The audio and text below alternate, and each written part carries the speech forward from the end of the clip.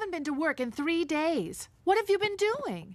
I've been sitting right here. I picked up my life exactly where I left off a thousand years ago.